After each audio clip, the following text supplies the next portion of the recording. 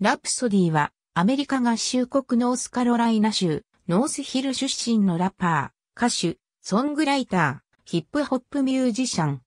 2010年のミックステープ、 Return of the B-Girl でブレイクし、2011年にデビューアルバム、 The Idea of Beautiful を発表。2017年の2作目のアルバム、 Laila's Wisdom は、グラミー賞で2部門にノミネートされた。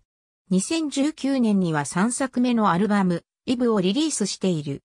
ライブでのラプソディ・ラプソディは、ノースカロライナ州立大学でキャリアをスタートさせ、ラップの経験がなかったにもかかわらずヒップホップ集団 H2O とそのスピンオフグループであるクーリーハイに参加した。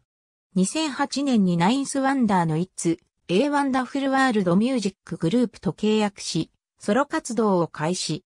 2010年12月7日にリリースされたミックステープ Return of the B-Girl でブレイクを果たす。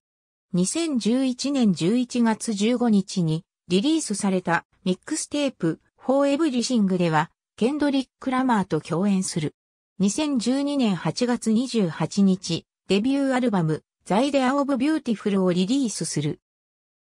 2016年7月に JG のレコードレーベルロックネーションと契約し、2017年9月22日に2作目のアルバム、レイラ、エス・ウィズダムをリリースした。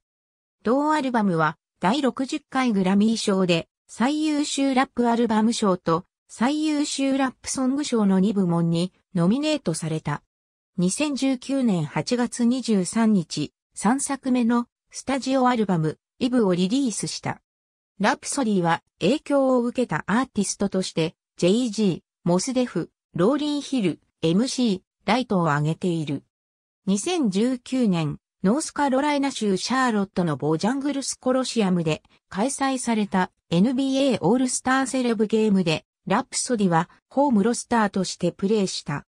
試合は彼女のチームが勝利し12分前後のプレーで1アシストを記録した。スタジオアルバムありがとうございます。